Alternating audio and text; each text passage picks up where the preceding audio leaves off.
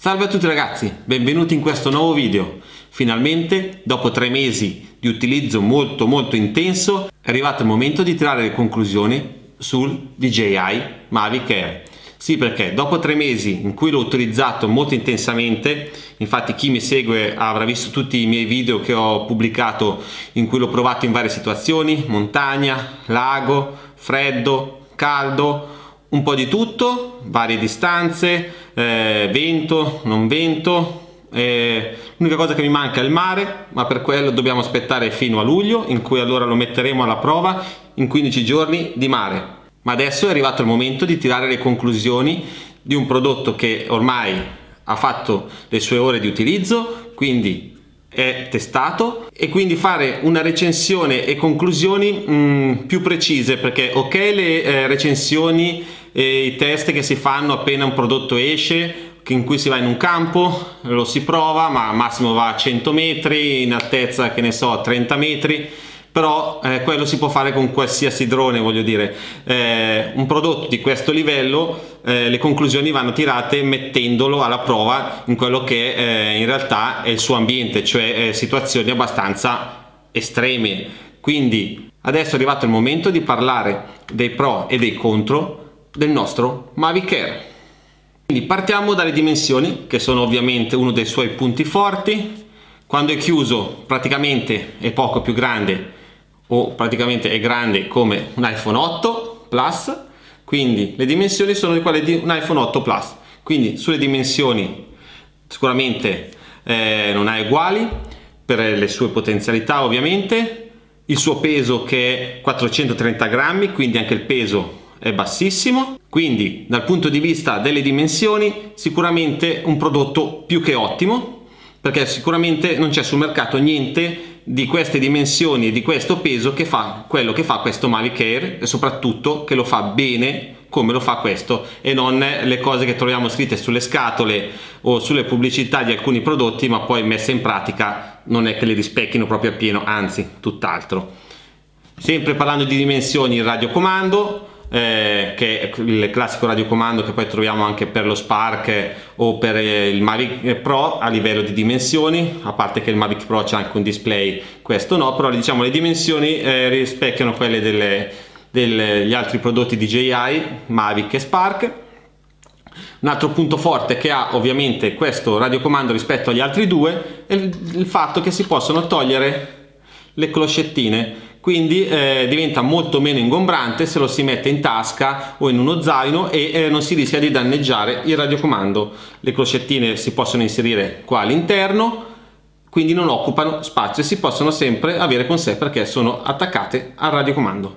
Quindi dimensioni e peso tutto ottimo. Adesso parliamo della fotocamera. Un altro punto forte ovviamente dove eh, DJI eh, non sbaglia un colpo è la fotocamera. Fotocamera da 4k 30 frame fps o da full hd a 60 frame fps quindi eh, la fotocamera è spettacolare. Secondo me anche i colori ottimi contro luce o meno comunque tende sempre ad avere dei colori eh, direi ottimi se non perfetti.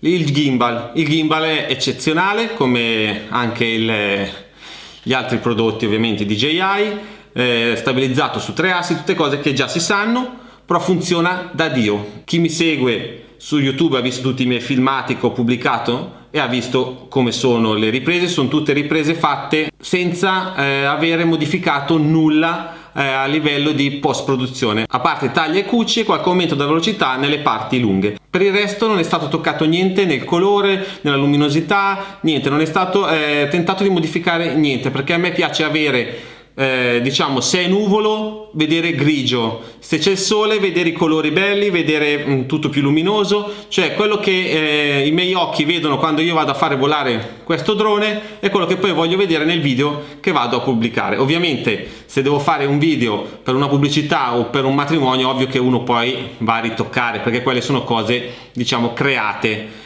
Però per chi deve come me tenere dei ricordi di posti in cui è andato mi piace avere i colori reali che vedo anch'io, quindi non vado a ritoccare quasi mai niente e questo Mavic li riproduce secondo me perfettamente, mi piacciono un sacco come li riproduce e il gimbal è impeccabile, quindi fotocamera e gimbal eccezionali. Ok, quindi dopo aver parlato della fotocamera passiamo a una cosa che invece a me non piace, non piacerà praticamente a nessuno, il rumore. Secondo me è molto rumoroso, molto più rumoroso del Mavic Pro. Questo è dovuto al fatto che le eliche, vedete, vanno sopra diciamo alla struttura del Mavic cioè alla carrozzeria del Mavic quindi creano una turbolenza che fa aumentare questo rumore. Quindi si sente questo rumore più amplificato rispetto al Mavic Pro per questo discorso che le eliche creano una turbolenza sulla eh, struttura del Mavic ovviamente essendo così piccolo avendo i bracci così corti le eliche ci vanno a finire sopra e si crea questo rumore molto forte. Soprattutto secondo me l'effetto è anche amplificato dal fatto che essendo così piccolo eh, sembra che fa ancora più rumore nel senso che se uno sente un rumore forte su un oggetto grosso eh, dà meno eh, fastidio forse perché l'occhio e l'orecchio vedono questa cosa grossa che fa tanto rumore mentre questo vederlo piccolo e fare tanto rumore mh, mm, dà l'idea di fare ancora più rumore di quello che fa. Comunque ne fa tanto quindi una cosa mh, mm, non piacevole perché comunque si sente tanto questo Mavic Air. Adesso invece parliamo delle batterie. Ok le batterie vengono date da DJI a 20 minuti. Non è vero nel senso che sì probabilmente 20 minuti se sta, si sta in aria fino all'ultimo secondo se non c'è un filo di vento eh, dipende come lo si utilizza. Magari ci arriva anche non lo so non ci sono mai arrivato io e secondo me sono intorno ai 16-17 minuti circa. Poi vabbè ovvio il vento fa tanto e comunque fa tanto un po' tutto l'utilizzo che se ne fa in quel momento. Comunque secondo me siamo sui 16-17 minuti. Però vabbè io ne ho due eh, quella che avevo nella confezione poi ne ho comprata un'altra. Quindi con due batterie e poi mi sono preso un power bank che posso utilizzare sia per caricare le batterie del Mavic perché ha la presa ovviamente classica della corrente, quindi attacco l'alimentatore delle batterie del Mavic e le ricarico. E eh, lo puoi utilizzare anche per ricaricare qualsiasi altro mio dispositivo con la presa USB eccetera. Quindi due batterie più questo io non ho problemi. Eh, però uno può comprarsi anche tre batterie o meno. Comunque sì le batterie diciamo non sono il suo punto fortissimo. Eh, secondo me se le paragoniamo poi a quelle di un Mavic Pro c'è tanta differenza, secondo me c'è quasi un 10 minuti di differenza. Adesso andiamo a parlare dei sensori e di tutto quello che è il suo autocontrollo, diciamo. Quindi hai sensori dietro, hai sensori davanti, quindi eh, gli ostacoli vengono visti praticamente senza problemi da tutte le parti, ovviamente non ce li ha da parte. Eh, però quelli sia quelli davanti che quelli dietro funzionano benissimo, ce li ha sotto e anche quelli funzionano benissimo, ovviamente c'è il GPS che funziona da Dio, nel senso che rileva i satelliti in pochissimo tempo, quindi raggiungiamo i nostri 8-9 satelliti che sono diciamo quelli minimo per eh, avere la sicurezza nel volo, che poi in un attimo diventano 13, 14 o addirittura anche 15, dipende da dove siamo quindi i satelliti vengono subito agganciati quindi bisogna aspettare pochissimi secondi e lui è pronto per essere eh, utilizzato in sicurezza. Parliamo della stabilità di volo eccezionale anche col vento a 30 km all'ora è stabilissimo.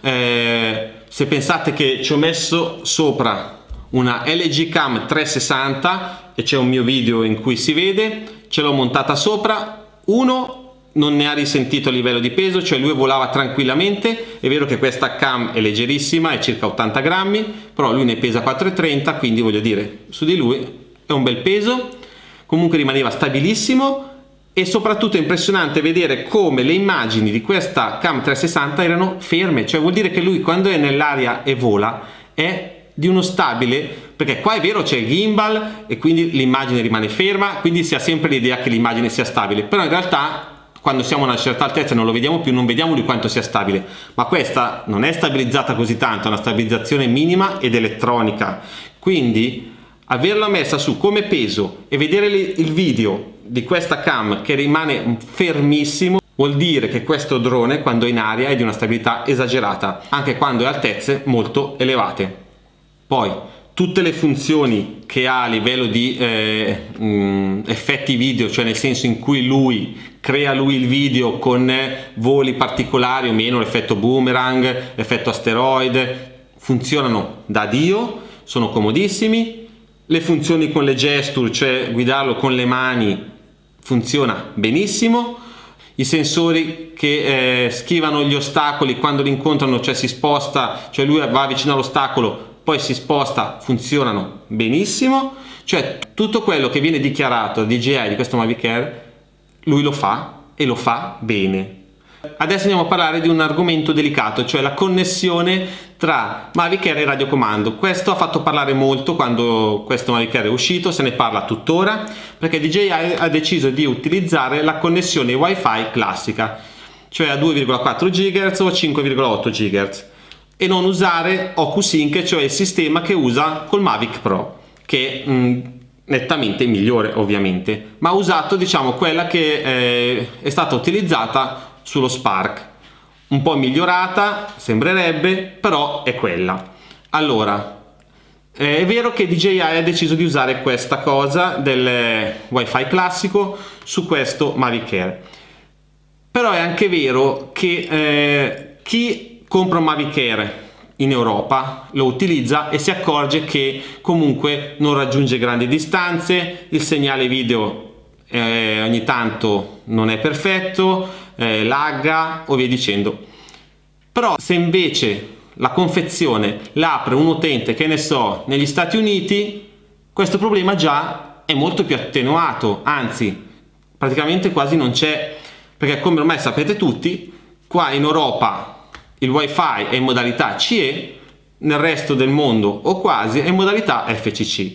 Però questa non è colpa di DJI, sono colpe dovute alle leggi che in Europa sono in un modo, nel resto del mondo o quasi in un altro. Cioè qua dobbiamo usare frequenze sia 2,4 GHz ma eh, frequenze molto più deboli, mentre in America o in altri stati quindi in FCC si usano sempre 2,4 GHz come quelle usate qua da noi, ma sono molto più forti le frequenze e lì sono ammesse, sono regolari.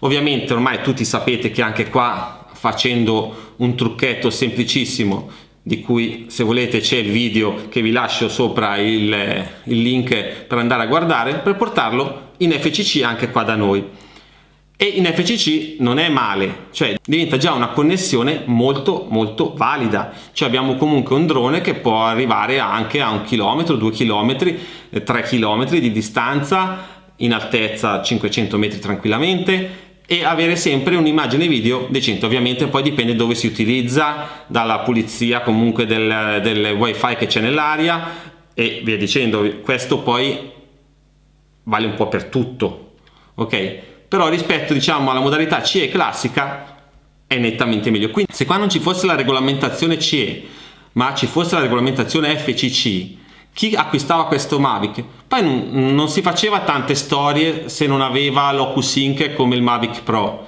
Il problema è venuto col fatto che siamo in Europa e c'è questo problema però non è tutta colpa di DJI cioè queste sono leggi di questi stati e non colpa di DJI ovviamente. Anche perché una cosa che mi sono chiesto io, l'OcuSync fa andare il Mavic Pro, supponiamo anche a 6-7 km di distanza, in altezza, eh, che ne so, un chilometro, ok? E la connessione rimane ottima, ok? Però quello c'ha una batteria che dura 26 minuti. Cioè, voi avreste fatto andare un Mavic Air con la batteria che dura 16 minuti a 6 km di distanza. Cioè, è anche vero che questo chilometri su un drone così piccolo con una batteria che comunque non dura 25-26 minuti io tipo non lo so se l'avrei fatto andare a 5-6 km tolto il fatto che il drone deve essere sempre sotto l'occhio vabbè, vabbè, vabbè, tutte queste cose che tutti sappiamo. Ma proprio diciamo a livello eh, ipotetico. L'avreste fatto andare no. Perché comunque andare a 5-6 km di distanza magari con il vento o meno e, poi ci devi tornare anche indietro con una batteria che dura come quella di un Mavic Air non aveva secondo me tutto questo senso. Quindi secondo me la soluzione ideale è Mavic Air FCC questo secondo me è l'ideale. Io ho questa opinione sulla la, la trasmissione wifi che è stata messa su Mavic Air. Ultima cosa di cui volevo parlarvi è il design secondo me spettacolare perché è curato anche nel, nel, design, nella forma, cioè mi piace tantissimo, le grigliette qua che raffreddano, eccezionali nella forma, eh, i materiali non sto neanche a dirveli perché comunque è un prodotto DJI, quindi i materiali ottimi, plastiche, tutto sono spettacolari.